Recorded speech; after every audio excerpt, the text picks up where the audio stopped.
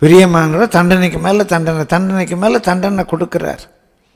ஆனாலும் திருந்தாவிட்டால் வீசல் shall அப்படியே கொஞ்சம் கொஞ்சமாக கொஞ்சம் கொஞ்சமாக விதராயிடுவோம் காய்ந்து சருகலாயிருவோம் வாடி போயிடுவோம் நம்ம திருத்துவதற்காக பனிஷ்மெண்ட் கொடுக்குறாரு.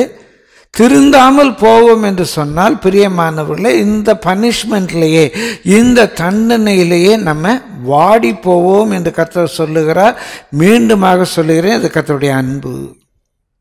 அது கத்தர் நம்ம மேல் வைத்திருக்கிற தீர்மானம் அவருடைய கிருவை பிரியமானவர்களே நம்ம வேதத்தில் வாஸ்து பார்ப்போம் என்று சொன்னால் நரகத்தை பற்றி நரகத்தை பற்றி அதிகமாய் பேசினது பழைய ஏற்பாட்டில் எந்த தீர்க்கதரிசியும் கிடையாது. புதிய ஏற்பாட்டிலையும் எந்த அப்போஸ்தலர்களும் கிடையாது. நரகத்தை பற்றி அதிகமாய் பேசினது நம்முடைய கத்திரா இயேசு கிறிஸ்து தான். நரகத்தை பற்றி நரகத்தின் வேதனையை பற்றி அதிகமாக எடுத்து சொன்னது தீர்க்கதரிசிகளோ அப்போஸ்தலர்களோ அல்ல நம்முடைய அன்பின் இயேசு கிறிஸ்து.